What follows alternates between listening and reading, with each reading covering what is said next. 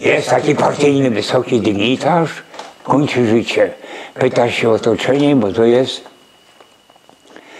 ci tam ktoś tam, bo nie wszyscy byli niewierzący. A on mówi, tego księdza przyjmę, tego przyjmę. No to ja się musiałem przebrać. No i co? I, jak? I brałem zawsze teczkę e, z przyborami hydraulicznymi, wiesz, o, Patrz, prowadzą mnie na portiernię, oni mieli swoje domy, wiesz, czyli tego. I portier mówi czego. To księdza by tak nie puścił, wiesz, to, to musieli się przebrać. To ja mówię, że coś się tam podziało, to e, słyszę, mój prędko, prędko, żeby nie zalało. To ja pod schody, bo też młody byłem. Idę do łazienki, pukam od razu, spać w domu. Jakżem po wszystkim wracał, no jak tam, no udało się. No to, to Bogu, że się udało. Tak mówicie, jakie życie. Jest właśnie, on umiera partyjny. Wszystko, widzisz, dało się tego. To możecie wiedzieć, to była jego pierwsza spowiedź.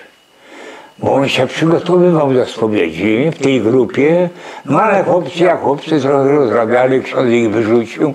Jak się poprawicie, to będę się wam nie interesował.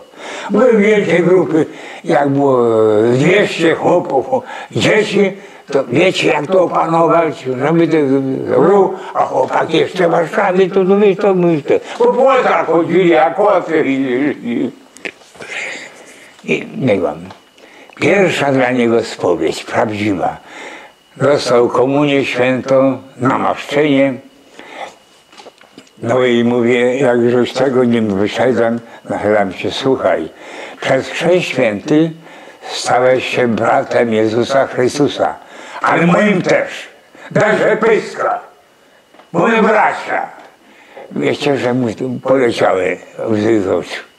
Czemu wyście wszyscy nie tacy? Prawda? Jakie wielkie słowa? Oni księży prawdziwych nie znali. To były tak jak już urzędniki, tak, już więcej nie wypowiadam się.